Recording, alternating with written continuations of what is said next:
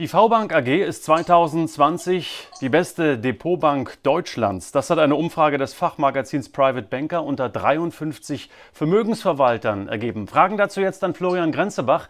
Er ist Vertriebsvorstand der V-Bank AG. Einen schönen guten Tag nach München. Guten Tag, Herr Franig, hallo. Ja, zunächst mal einen ganz herzlichen Glückwunsch, Herr Grenzebach. Was waren denn die entscheidenden Faktoren für diesen Erfolg?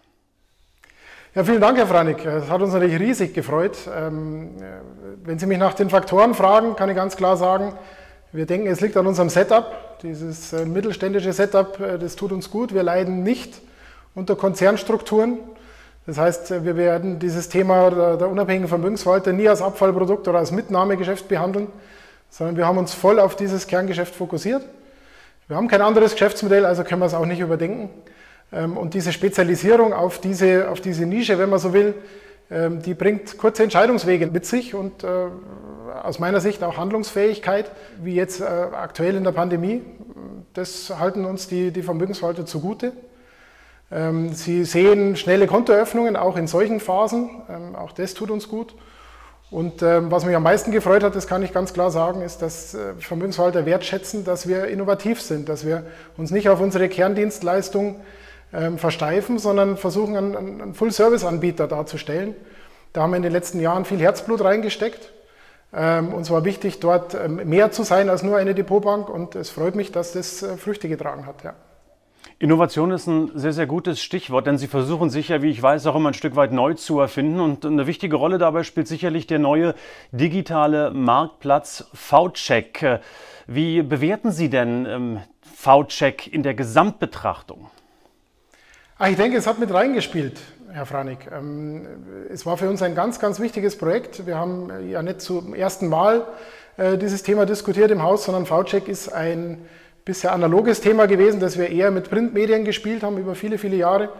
Wir haben über, über die äh, digitale VV, wenn man so will, jetzt eine Lösung geschafft, diese Printmediengeschichte in, die, in das neue Zeitalter zu überführen.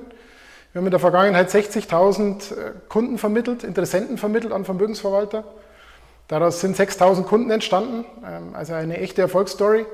Und wir sind uns sicher, dass man äh, die nächsten Jahre auch auf das digitale Pferd setzen sollte als Vermögensverwalter. Und da wollen wir äh, die Infrastruktur dafür bieten. Also insofern glaube ich, dass Vermögensverwalter ähm, es äh, wertschätzen, dass wir uns an deren Neugeschäft beteiligen und alles dafür tun, Kunden zum Vermögensverwalter zu bringen. Nicht nur als ähm, reine Wohltat, sondern natürlich auch aus einem gewissen Eigennutz. Das sind dann in der Regel dann auch unsere Kunden. Und insofern ist es für uns ein, ein bahnbrechendes Projekt gewesen mit hohen Investitionskosten.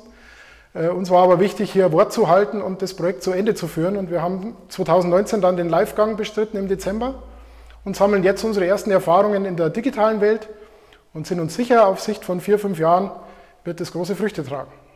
Ist denn Digitalisierung, was ja nun wirklich in jedem Munde und jeder Munde ist, äh, Herr Grenzebach, ist Digitalisierung der alleinige Zukunftstrend in der Vermögensverwaltung?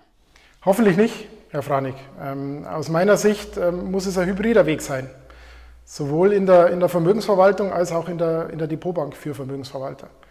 Was meine ich damit? Ähm, der Vermögensverwalter hat seine Top-Kunden und seine, seine große Kompetenz ist die ähm, Betreuung dieser Top-Kunden. Und ich glaube nicht, dass er diese, diesen Weg äh, digitalisieren oder standardisieren kann, sondern das wird auch weiterhin ähm, ein sehr individueller Weg bleiben. Gleichzeitig können wir ihm eine Lösung bieten, seine kleineren Kunden, die er vielleicht in der Vergangenheit wegschicken musste oder nicht effizient betreuen konnte, über eine digitale oder standardisierte Lösung äh, bei uns zu führen und damit Freiräume zu schaffen, neue Kunden zu gewinnen. Ähm, und das ist aus meiner Sicht ähm, der Weg in der, in der Vermögensverwaltung. Ich denke, der Vermögensverwalter kommt nicht mehr umher, auch eine digitale äh, Visitenkarte zu hinterlassen in Zukunft.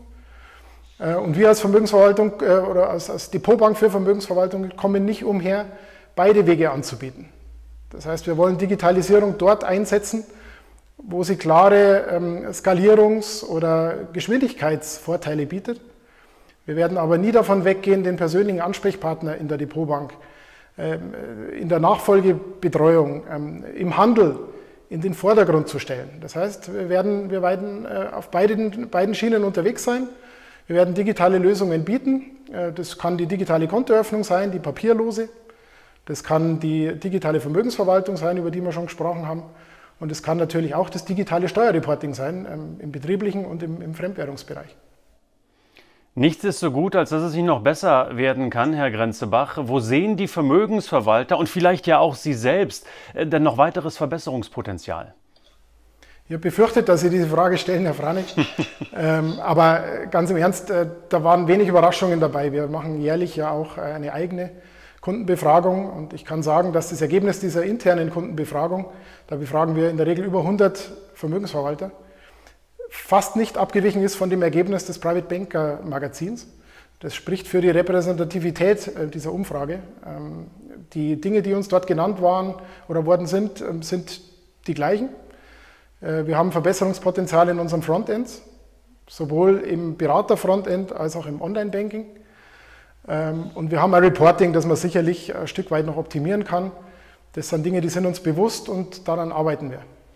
Äh, gutes Stichwort. Ähm, wie werden Sie diese Wünsche und Anregungen der Vermögensverwalter dann jetzt aufgreifen und vor allen Dingen umsetzen?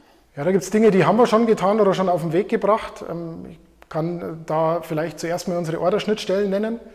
Ähm, wir wollen einen Weg schaffen für die Vermögensverwalter, dass sie direkt aus ihren Portfolio-Management-Systemen heraus ordern können, damit unser Frontend nicht mehr zwingend benötigen. Das ist ein Weg, der kurz vor, vor Umsetzung ist. Das heißt, äh, ich gehe davon aus, dass wir Ende des Jahres bereits Orderschnittstellen aus PS Plus und aus Infront, ehemals VWD, bieten können. Weitere Portfolio-Management-Systeme werden wir dann direkt anschließend äh, anbinden. Äh, und damit schon mal eine erste Lösung bieten.